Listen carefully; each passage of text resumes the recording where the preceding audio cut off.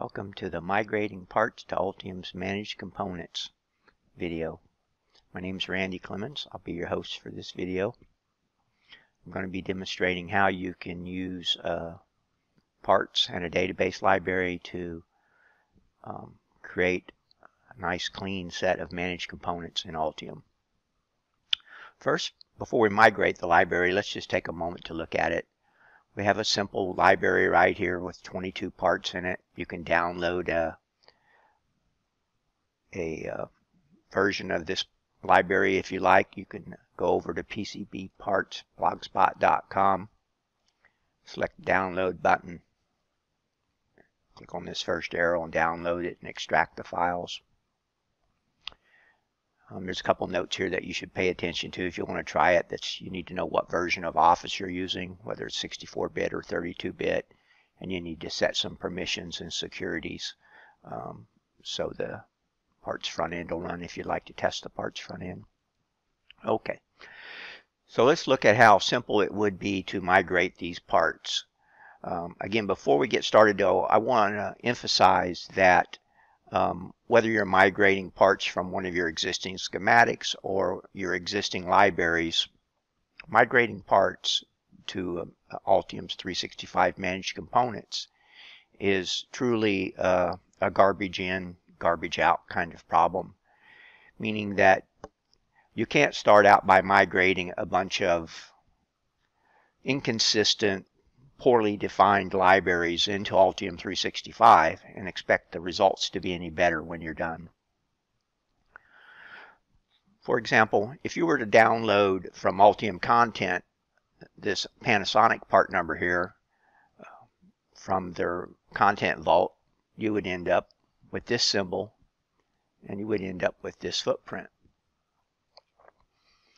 And if you were to download this part number from Altium's content, you would get this symbol and yet a different footprint, actually up to four footprints or three. And they wouldn't, the two footprints wouldn't be similar, they're different. The symbols are not similar, they're different. Um, so the point is, is if you're not already consistent with your symbols, um, you can expect to have a better situation um, when you're done migrating to the library. But anyway, let's let's continue on and look at how simple it would be to migrate. Um, and so one of the things before I go a little bit further is if we look at these descriptions here and look at the values, we'll notice that um, out of the database library, we had a very consistent format for description. Like here's ceramic caps, the value of the cap, you know, the tolerance, working voltage, dielectric constant in the package, etc. And um, just one more demonstration before we leave the database library and, uh, and migrate the same library to Altium just so we can have a before and after comparison. Notice that while we're in the database library, some of the features that we have, we can see the footprint, we can see the symbol, um, we can see whether or not we have stock. Um, and of course, we can select our data sheet or we can jump into the supplier details. Okay. So we already know um, at the time that we're placing the parts whether or not there's inventory available. Okay. So anyway, uh, again, like even with the resistors, we see a very um, consistent formatting. And notice that there's no commas in here. Um, that's a clue that I took years ago from uh, DigiKey and Mouser. Um, they don't use any commas in their descriptions. And one of the reasons for not putting commas in there is at some point, if you ever need to export data out, some people sometimes will try to export data out and use what's called comma separated values. Well, having commas in your data can really uh, destroy your data set and uh, your skew the columns and the data will be very uh, confusing uh, after it's been exported. So it's not a good practice to put commas in. And uh, you might uh, consider that's why Mouser, DigiKey, and most other websites that have databases with some experience don't use commas. Okay, so anyway, let's get back onto the original topic, and that's exporting, which is so simple. All we need to do is go under our operations after we've installed and loaded our database library. And we'd go down to migrate the library. Altium will do an analyzing the library. And the nice thing is that Altium defaults will work just fine, usually for these imports. I mean, there's some advanced settings here that you can get into. Um, but I've found that at least um, with the parts database uh, format, it's not really necessary. So anyway, we could at this point validate the library and we could um, look at the message panels to see if there's any issues. So we've got one identified issue. Says component 3000 um, doesn't recognize a, a part type of new. So we could change that if we want make it new. And if we hit validate again, so I had a cre created a category for new parts. We'll go ahead and migrate those parts.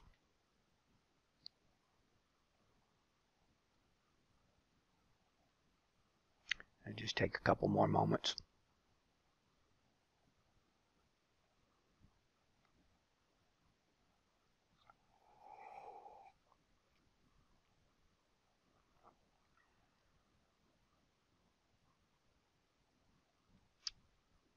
Bear with me. We're almost done.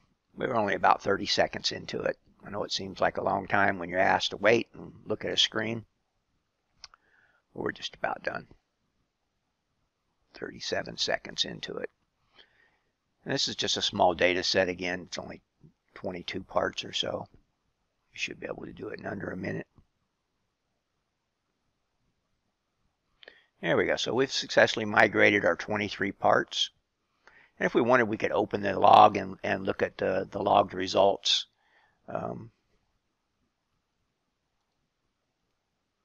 usually it's not necessary. You can tell pretty quickly right away if you've got a problem just by looking at your library. All right, so at this point, I'll close the library migrator. We'll go back to our components panel and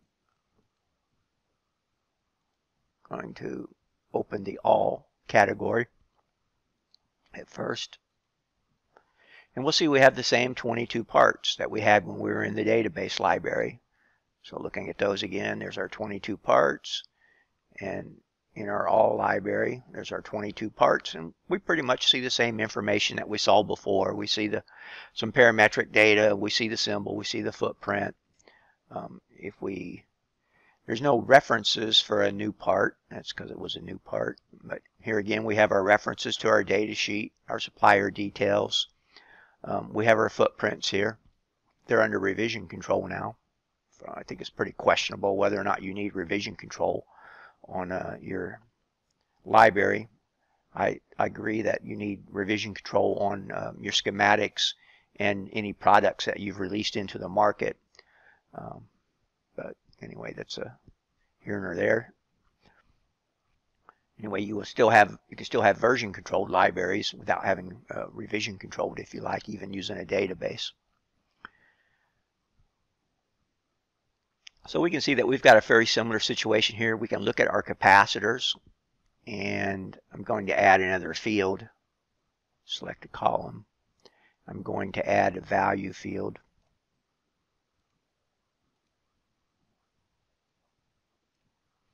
So you can see here we've got our values.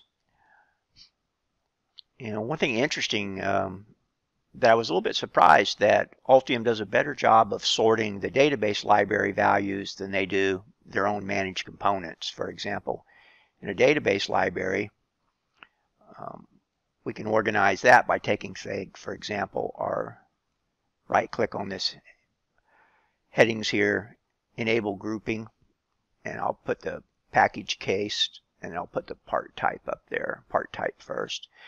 Now we've organized our data, and we can, uh, for example, look at these resistors.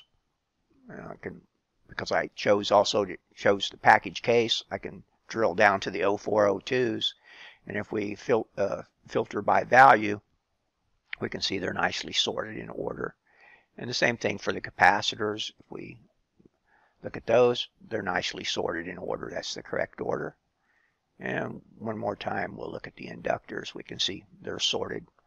But uh, for whatever reason, not sure why, um, Altium didn't do quite as good a job um, supporting their managed components in sorting that.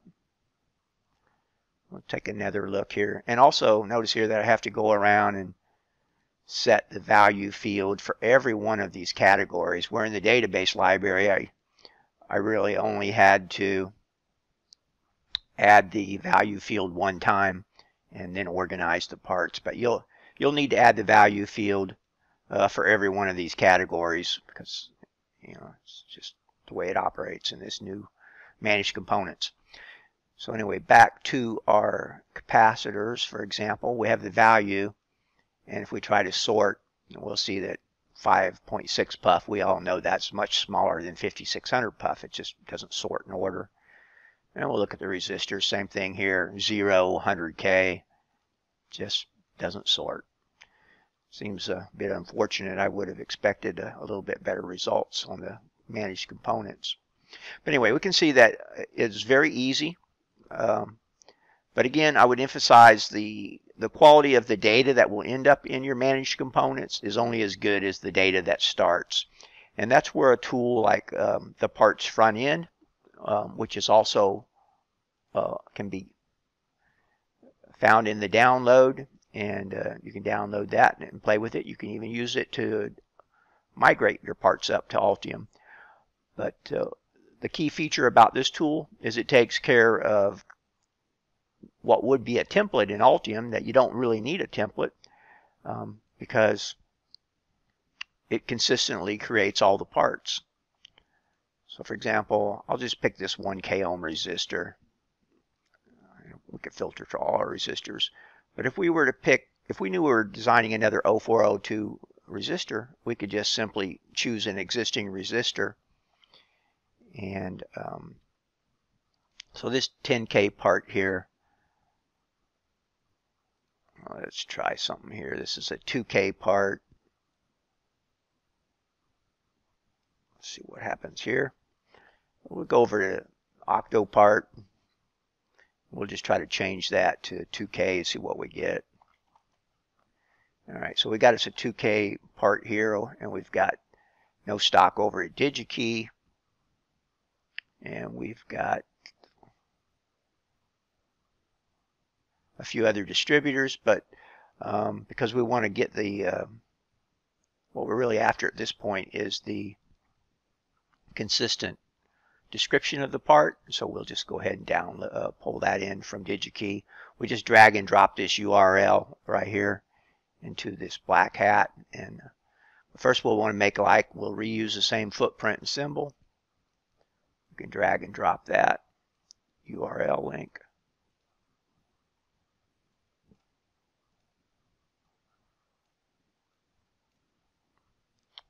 Try to refresh that. Drag and drop that. And then we can save that. Okay, so at this point we've created another 2k ohm resistor. And we can see in, in Altium in the database library under the resistors, it was another 0402. And if we were to refresh the library, there we'll go. We can see we've got our 2K resistor right there. It's ready to be placed. And again, it, not surprisingly, it's very consistent, same size as all the other resistors that are in the design. Okay.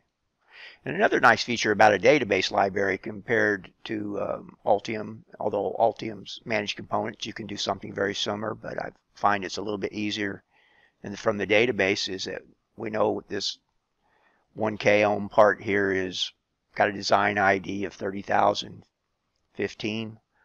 We just change our design ID.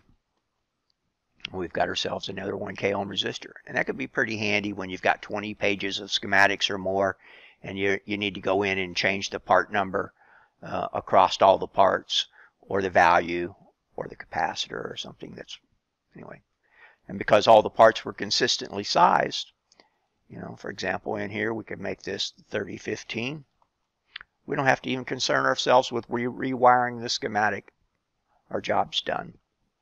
Anyway, um, thanks for taking a look. As you can see, it's very simple to migrate um, to uh, Altium's cloud using a, a, database library. Again, the key to having um, a nice library in Altium um, starts with having consistent, clean data. And also, you could always add new parts to um, the database and do another migration and continue to build parts that are consistent, clean, using the same footprints and symbols. Anyway, if you'd like to take a look at the tool, you can head over to pcbparts.blogspot.com, hit the download button, download yourself a, a free evaluation version that you can play with. And uh, you can use that evaluation version to uh, migrate several components up to your Altium 365 Cloud Managed Components. Thanks for watching the video. Hope you have a great day.